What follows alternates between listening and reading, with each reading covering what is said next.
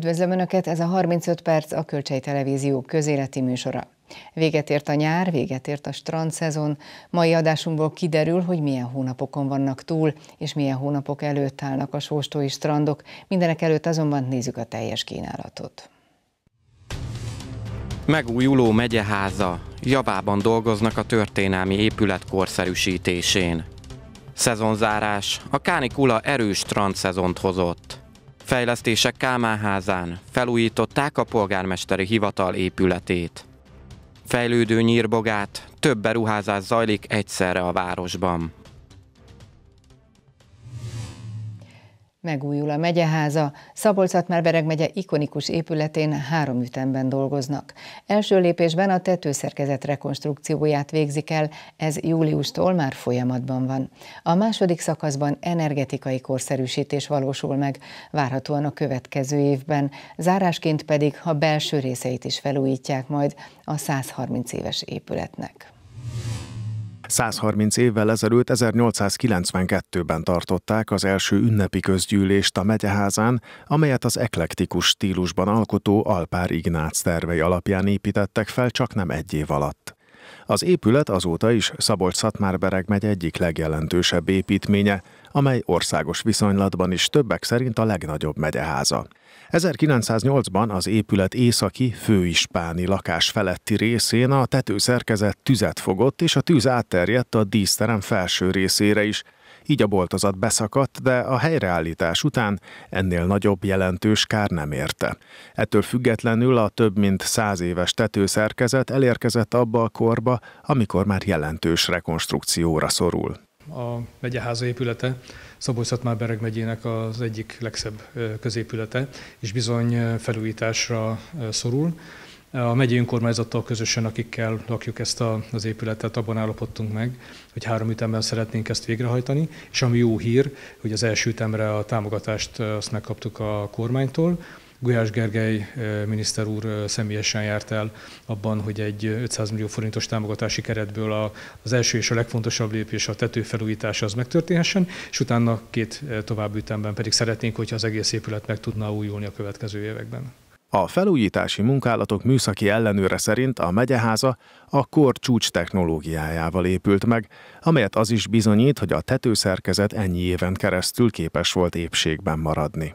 Az eredetileg természetes palával volt fedve ez az épület, ez sem minőségben nem érhető már el, mert közel száz évig szolgált az a természetes pala, amit annak idején fölraktak, sem anyagilag egyszerűen lehetetlen lenne ezt a eredeti anyagot föltenni.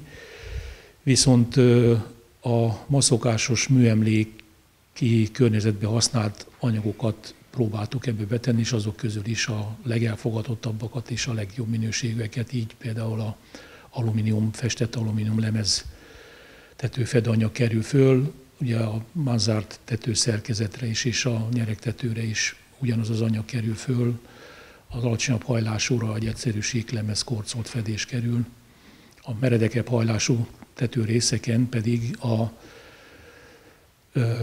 palafedésre nagyban hasonlító úgynevezett aluzsindej kerül föl, ami egy rendkívül igényes, nagyon szép nemes anyag. De egy nagyon komoly műemléki engedélyezési eljáráson kellett végig vigyük a terveket.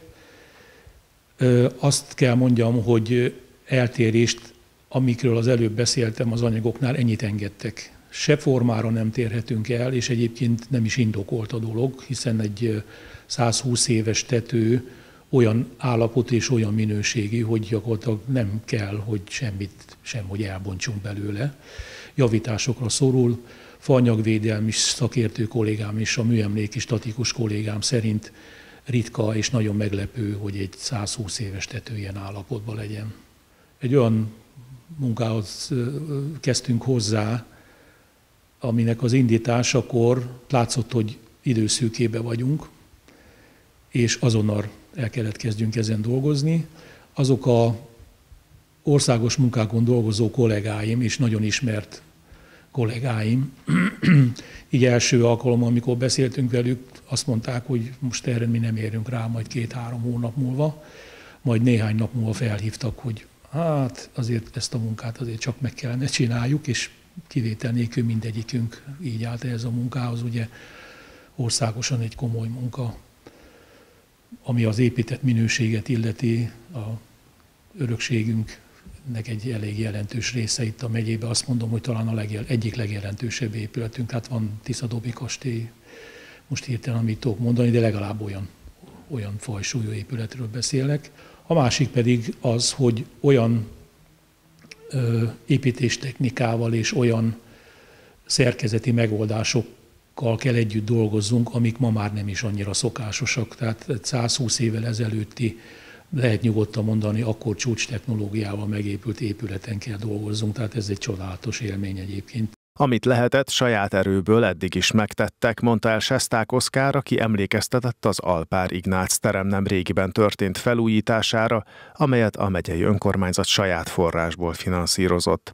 Így néztek ki korábban a megyeháza nyílászárói, amelyeket szintén kicseréltek, jövőre pedig több mint 700 millió forint értékben korszerűsítik az épületet.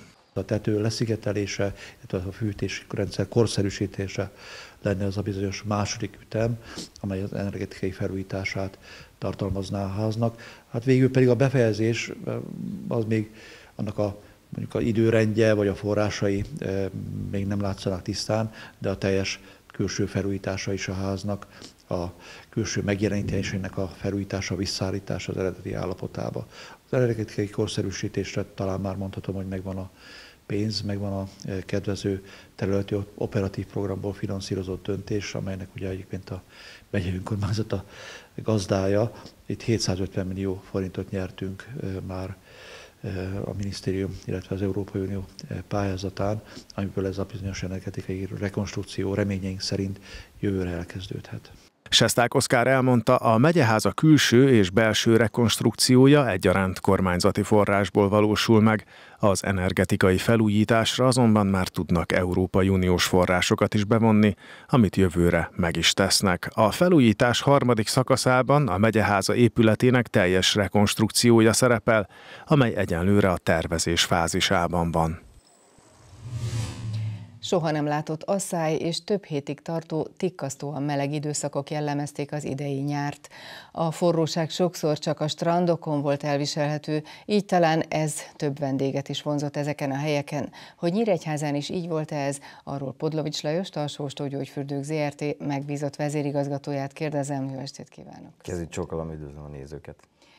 Milyennek látja ezt az idei szezont? Elég furcsa időszak után vagyunk, ugye két éves covidos korlátozós időszak után ez milyen lett? Hát ez hála Istennek azért sikeresebb lett a látogató szem tekintetében is, mint az előző két szezon. Az való igaz, hogy ugye az első, a 2020-as évben ott, ott teljesen meg volt zavarodva az egész világ, ezzel egyetemben a turizmus is, és a hozzánk érkező vendégek sem tudták, hogy most akkor látogathatunk bátran, tömegesen látogatott helyeket, mehetünk-e, biztonságban vagyunk-e. Természetesen akkor is már minden óvóintézkedést meghoztunk, ami ezzel kapcsolatban meghozható volt, erre központi direktívák is voltak, tanácsok, amiket maximálisan betartottunk, hogy a minél nagyobb biztonságot megteremtsük. Egyébként ugye azért jelen pillanatban is itt van a Covid helyzet, mert most is hallani napjainkban, hogy, hogy várható, meg itt lebeg, jelen van, hát tudjuk, hogy most is vannak megbetegedések, de azért azt tudni kell, hogy a fürdők majd, hogy nem a legbiztonságosabb közegnek tekinthetők ilyen szempontból, hiszen ugye mi klort használunk a, a medencék fertőtlenítéséhez, a vízforgatásos rendszerű medencék fertőtlenítéséhez, a töltőrítőkhöz szintén használunk egy fertőtlenítőszert, ami erősen roncsolja a koronavírusnak a burkát, és gyakorlatilag pillanatokon belül elpusztítja azt. Úgyhogy ilyen szempontból ez a, ott a, a levegőben is megtalálható, ott is vannak ilyen klórtartalmú fertőtlenítőszerek, amikkel, amikkel tudunk védekezni, úgyhogy erre mindenképpen nagy hangsúlyt helyezünk, hogy ez a jelen pillanatban is eh, így legyen, és biztonságos körülmények között lehessen fürdőzni. Eh, a 21-es év az már valamelyest barátságosabb volt, hiszen ott azért már, már úgy kicsit úgy beleszoktunk ebbe a, ebbe a covidos mizériába, és már gyakorlatilag, ahogy észrevettem, mindenkinek kialakult egy kis önvédelmi mechanizmus ezzel kapcsolatban, mindenki a maga Vagy módján. Azt mondta, hogy már belefáradt és nem foglalkozik. E, igen, volt, aki elengedte, volt, aki még mindig félt, még mindig van egyébként, aki, aki félve tekint erre, de azért az idei év már jóval, jóval kedvezőbb évnek lehet mondani, csak egy viszonyszám, hogy tavaly a nyári szezonban 120 ezer vendégünk volt, idén pedig 190 ezer vendéget tudtunk fogadni, még a pontos számok még, még összesítés alatt vannak, tehát azért egy jelentős ugrást sikerült elkönyvelni, és mindazon túl, hogy a, a megemelkedett vendégszám egy jó hír, de ami külön jó hír, hogy a külföldi vendégek is jóval nagyobb arányban tértek már vissza. Ugye mindenhol, nem csak mi nálunk Magyarországon, hanem mindenhol a környező országokban is a belföldi turizmust erősítették, és azt hangsúlyozta a belső turisztikai kommunikáció központilag mindenhol. Értelemszerűen ez hatott is, de most már hála Istennek az utazási kedv azért megnyílt, és korábban még nálunk a vendégek, a külföldi vendégek aránya az 40% volt a teljes vendégforgalom tekintetében a, a park és élményfürdőben. Ez a 2019 Igen, 19 és az azt megelőző években ez volt a mérőszámunk, ez például ilyen 10% alá esett le az egészben a 40% alá 10%-ra, idén ez már 30%-ra kúszott vissza a teljes vendégszám tekintetében, tehát még érezhető, hogy még mindig van egy kis egy lamentáló réteg, de, de azért már a bátorság és a kedv megjött. Mi volt a legtelítettebb időszak? Volt-e olyan, amikor akár korlátozni kellett a belépést, mert nem bírt a parkfürdő a termelést? Hála Istennek elbírtuk, mert az egyidei befogadó képességünk azért ezt lehetővé teszi, meg ugye rotálódik is egy nap a vendégszám, van, aki elmegy délután, aki délelőtt jön, és utána délután még érkeznek hozzá vendégek. Tehát, de a július volt a, a kiemelkedően jó időszak, az, az egészen biztos, mind az időjárás tekintetében. Az augusztus is valóban mindenki az asszályra emlékszik vissza, vissza erre a nyára, de azért a fürdőzés tekintetében, ha már reggel felhőt jósolnak, meg esőt jósolnak, vagy esetleg reggel egy picit hűvösebben indul a reggel, akkor az már vissza tudja fogni a fürdőzőkedvet. Ha reggel mindenki úgy kell fel, hogy verőfényes napsütés, és már reggel 22 fok van, akkor garantáltan indulnak a fürdőbe az emberek. Az augusztus első két hete és a vége az ilyen szempontból nem volt szerencsés, ugye, hát nyilván sokan örültek annak, hogy augusztus vége az már ilyen csapadékosabbra sikeredett nyilván ismertek, mi is örülünk neki, meg, meg kell a mező, vagy kellett volna a mezőgazdaságnak is, de hát nálunk az a jó, amikor, amikor nem esik az eső. Mi az, ami a legnagyobb kihívás volt ebben a szezonban? E, ami célkitűzésünk volt az, hogy a külföldi vendégeket megszólítsuk, mert a belföldi kommunikáció ugye az, az erős volt a tavalyi, tavaly előtti évben is, nem is így is számoltunk az üzleti tervben, hogy nem tudunk a külföldre támaszkodni, csak a belföldre, itt ott, ott erősítettük meg. Idén már célkitűzésünk volt, hogy a külföldi vendégeket visszacsábítsuk, úgyhogy ezt többféle eh, marketing megoldással értük el, és hála Istennek úgy tűnik, hogy működött. Ami nagyon jó hír, hogy a szlovák vendégek nagyon nagy számban visszatértek, ugye mindig ők adták a főgerincét a külföldi látogatóinknak.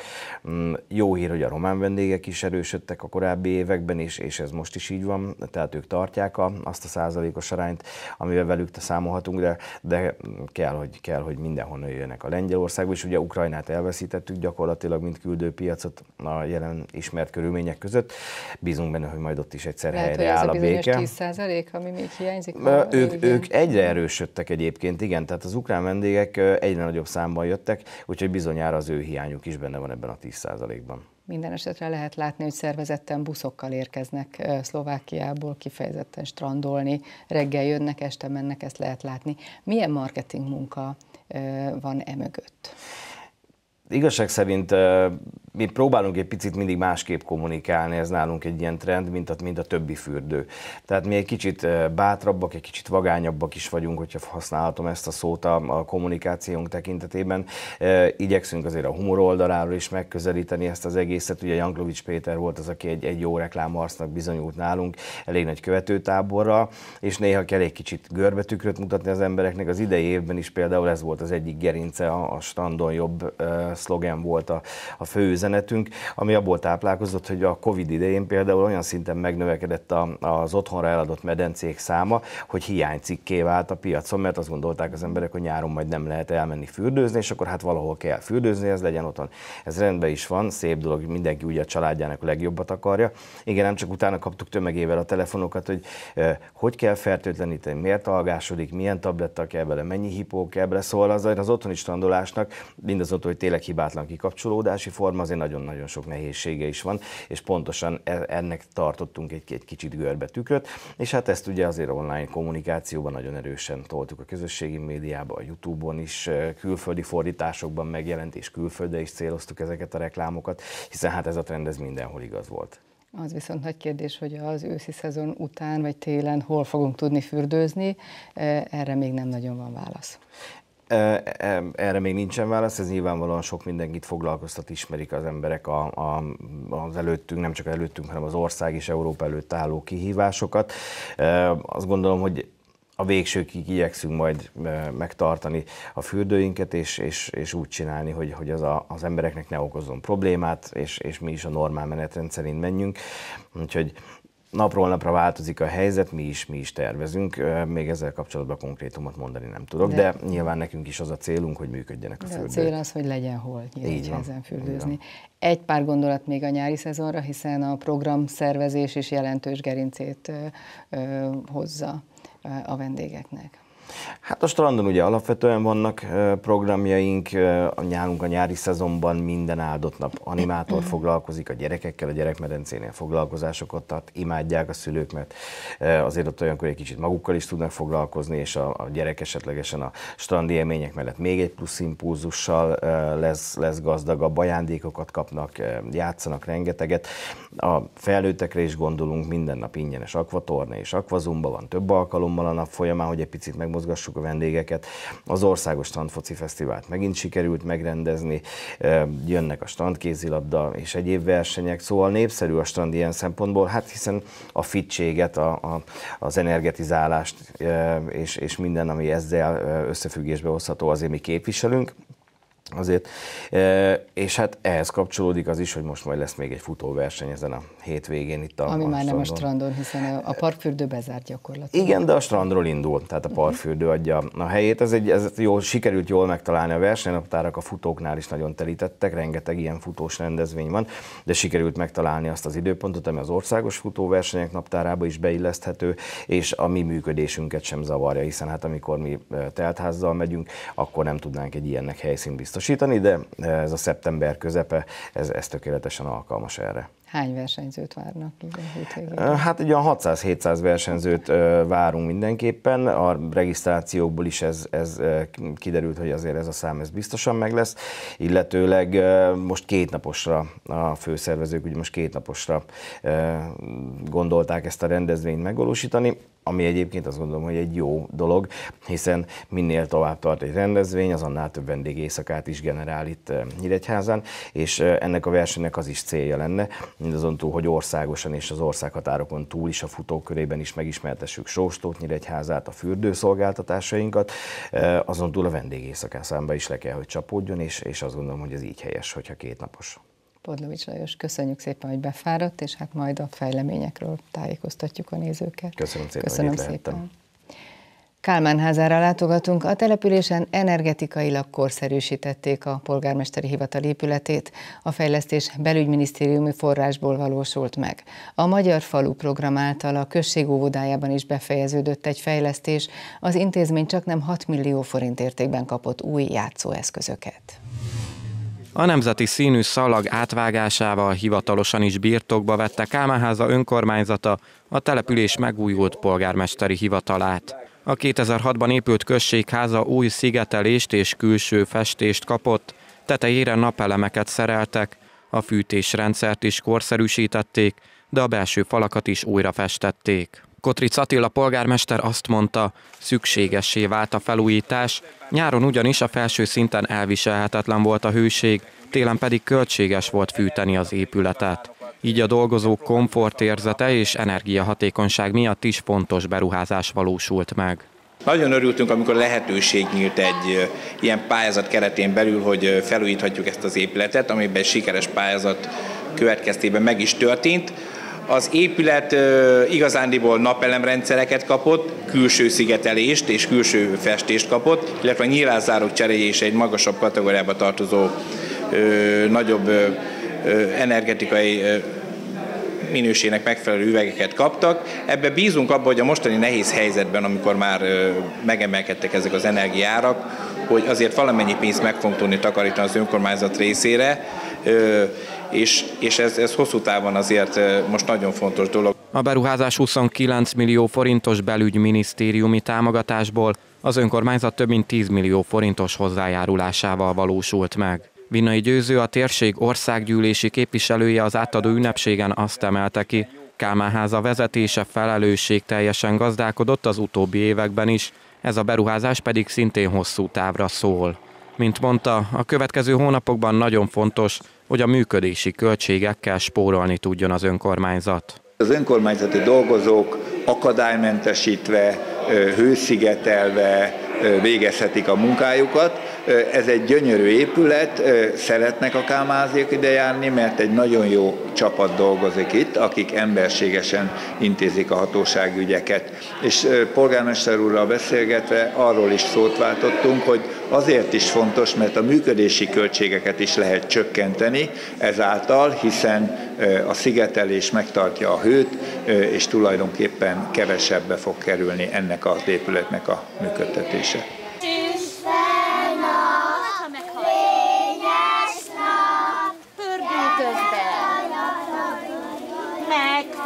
Fagynak. Ez pedig már a Kámáházi óvoda, ahol a gyermekek próbáltak napsütést előidézni az esős időben. Örömre a csapadék ellenére is volt azonban ok, az intézmény ugyanis új játszóeszközöket kapott. A fejlesztéshez 5 millió forintos támogatást biztosított a Magyar Falu program, amihez az önkormányzat további 1 millió forintos önerőt tett hozzá.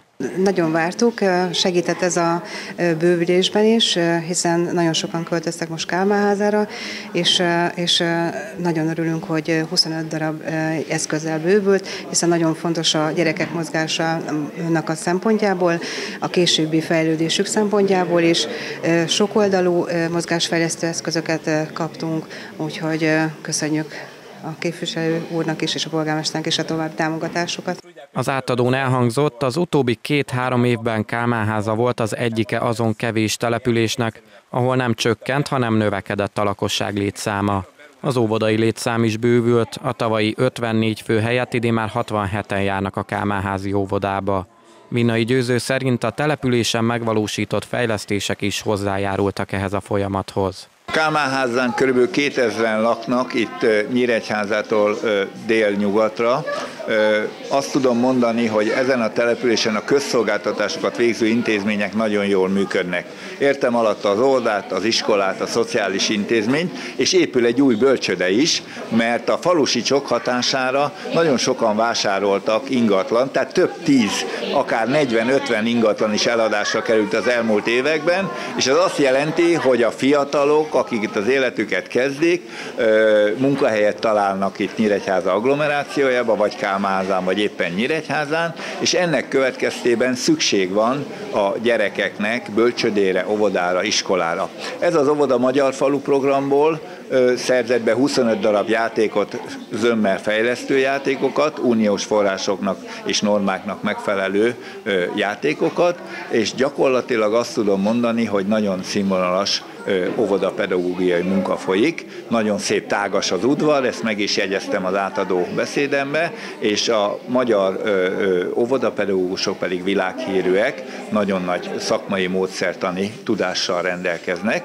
és én azt látom, hogy a Kálmáházi családok, szülők szívesen hozzák ide a gyereküket, nem is viszik máshová, szinte csak egy-két gyereket visznek el, ezért növekedett az óvodai csoport létszám, több mint 15 százalékkal tavalyról idénre. Úgyhogy szeretnék gratulálni, és én azt tudom mondani, hogy ha van gyerek, van jövő, ha nincs gyerek, nincs jövő. Mi azt szeretnénk, hogy minél több gyerek szülessen, és akkor a magyarság jövője biztosítva van. Nyírbogáton is megújult a polgármesteri hivatal épülete. A településen a csapadékvízelvezetési munkálatok második üteménél tartanak, és készül egy élőfüves, nagyméretű futballpálya is. Új kerítést kapott a temető, valamint egy új játszóteret is átadtak a hivatal mögötti közösségi területen. Nyírbogáton ünnepre készülődnek, szeptember 16-án lesz egy éve annak, hogy a település városi rangot kapott megépült Nyírbakáton a köztéren egy játszótér. Elsősorban a kicsinyeket céloztuk meg ezzel. Régi vágya volt a településnek, hogy egy játszótérrel tudjuk megörvendeztetni a településen élő kicsinyeket, de én azt gondolom, hogy ez nem csak a gyerekek örömére épült, hanem egy olyan közösségi tér, ahol a közösség valóban épülhet, hiszen a szülők gondolatokat cserélhetnek, beszélgethetnek, és valóban a szabadidőnek egy kulturált eltöltésére szolgálhat. Milyen forrásból is lehetett tudni, hogy mennyiből készült el? Igen, Magyar Falu program keretében készült el. Mi nagyon hálásak vagyunk a kormánynak, amivel a kis településeket tudják segíteni, ez közel 5 millió forintból készült el. Megújult, vagy teljesen új a temető kerítése. Az mikor készült, és az milyen forrás? Szakaszosan újul meg a temető kerítése. A Magyar Falu program keretében a településünk minden évben sikeresen pályázott az elmúlt években temető kerítés felújítására. 5 millió forintos keret terhéig lehet pályázni. A temetőkerítésünk a szép, széles és hosszú, még van két kis szakasz, amire szeretnénk pályázni a jövőben. A polgármester hivatalban is zajlanak felújítási munkálatok, mennyire voltak szükségesek és mit tartalmaznak? A polgármesteri hivatal 2005-be került annak idején átadásra és beköltözésre, lelakott a polgármesteri hivatalunk ennyi idő után részben BMS pályázatból, részben Magyar Falu pályázatból egy komplex felújításra került a polgármesteri hivatal és a közösségi terünk. A polgármesteri hivatalon új uh, héjazat csere történt meg, és a belső felújítás az gyakorlatilag a padlóburkolótól, a világításon keresztül a fűtésnek a korszerűsítése befejeződött. Megpróbálunk kicsit odafigyelni intézményeinkre, az energetikai projekteket kihasználva energiatakarékosságra törekszünk. Látszanak a településen a csapadék elvezetési munkálatok. Hol tartanak? A Toppos projekt keretében sikeresen pályáztunk a csapadékvíz elvezetésre. Nyírbogáton a csapadékvíz elvezetés második üteme zajlik. Az időjárási viszonyokat ma már nagyon nehéz kiszámítani. Ugye a tegnapi napon is rövid idő alatt 30 mm csapadék hullott a településen, aminek nagyon örülünk, hiszen nagyon kellett a csapadék, de ehhez sajnos a csapadékvízelvezető rendszerek nélkülözhetetlenek. A településen elavultak, elhasználódtak az árkaink, ennek a felújítása ez megkerülhetetlen a település életében, hiszen ezáltal az ingatlanoknak a védelme zajlik, sajnos az elmúlt években az időjárási viszonyoknak a változása miatt azt tapasztaltuk, hogy bármennyire is próbálta önkormányzatunk közmunkaprogram keretében a csapadékvizelvezető rendszert felújítani, karbantartani, tisztítani, mégsem tudott úgy funkcionálni, mint ami azt célul, vagy célját kellett volna, hogy szolgálja. Így a településünkön folyamatosan zajlik a csapadékvizelvezető rendszereknek a megújítása. Ez toppos projekt keretében zajlik, még egyszer szeretném hangsúlyozni. A háttérben látszik, hogy komoly föld munkálatok zajlanak, ha minden igaz, egy fős futballpálya lesz itt valamikor, ezt a beruházás kifinanszírozás mikorra készül el? A településünk egy megörökölt élőfüves pályával rendelkezik, ami nem a település központjában helyezkedik el, és ráadásul egy idegen ingatlan veszély körül, maga az öltöző sem saját az önkormányzatnak, hanem bérleti szerződés keretében használtuk. Mára megkerülhetetlen lett az élőfüves pálya kialakítása. Látszik is, hogy mi minden pályázati forrás próbálunk kihasználni, ezért jelesül, ami mögöttünk most épül, ez TAO forrásból épül. A futball egyesületünk, a Bogát 2000 Torna Klub próbálja ezt finanszírozni TAOS keretekből, nagyon nehéz nagyon nehéz a pályázatnak a megvalósítása, hiszen a TAO forrásokat próbáltuk összpontosítani, több évre átnyúló forrásokat csoportosítunk át, és hát megpróbáljuk ezzel az élőfüves pályával egy kicsit a közösségi terünket, ami most rendelkezésünkre áll, azt kibővíteni. Bízunk abban, hogy ebből őszre valóban élőfüves pálya lesz, és hát jövőre a csapatunk ezen fog tudni itt játszani, reményeink szerint jól. Ezen a nyáron már több nagy rendezvény volt Nyírbagáton, és szeptember 16-án Városnap, mivel készülnek? Szeptember 16-án ünnepeljük a várossá válásunk első éves évfordulóját. A tavalyi évhez hasonlóan nagyon készülünk rá, Buzogány Béla Színházának segítségével, és főleg Buzogány Béla rendezésében szeretnénk egy kicsit újra megmutatni magunkat, amiben benne vagyunk mi nyírbagát is, és valami szép és alkalomhoz illő műsorral kedveskedünk az ide látogatóknak. Kedves nézőink, eddig tartott ma a 35 perc, legközelebb szerdán várjuk Önöket, amikor vendégünk lesz többek között a Magyar Dohánytermesztők Országos Szövetségének elnöke is. Várjuk Önöket akkor is, viszontlátásra!